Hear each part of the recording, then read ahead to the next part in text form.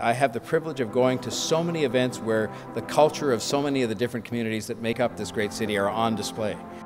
And if you combine that with one other thing that is a part of the soul of this city, and something that we underestimate and underappreciate, and that is our parks, you have something that is going to be a very potent combination in the years to come. The utmost example of how arts can be publicly accessible.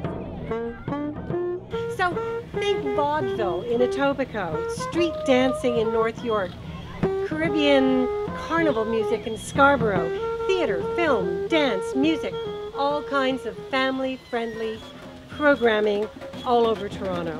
And all of it completely free. I'm really excited about all the pieces being put together so that it sounds more like a symphony of color, movement, and sound. I think this is an awesome program. It get families, get communities together. A lot of activities for different kids to do with their families and it's a different way for them to get different exposure. So I think it's an awesome program.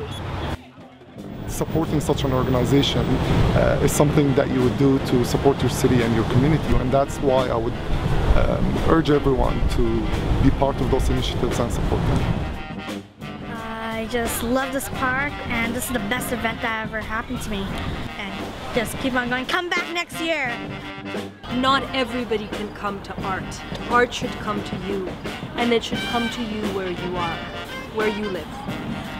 I would like to see something like this in Toronto more often. I think it's cool that they came to a park where a lot of people come, especially at this time of day, and play to show people how that music sounds and maybe introduce people to that kind of music.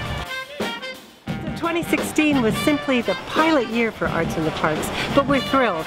Going forward, it's a big city, there are a lot of people, they want arts in their parks, so we will be doing more with your help. Thank you.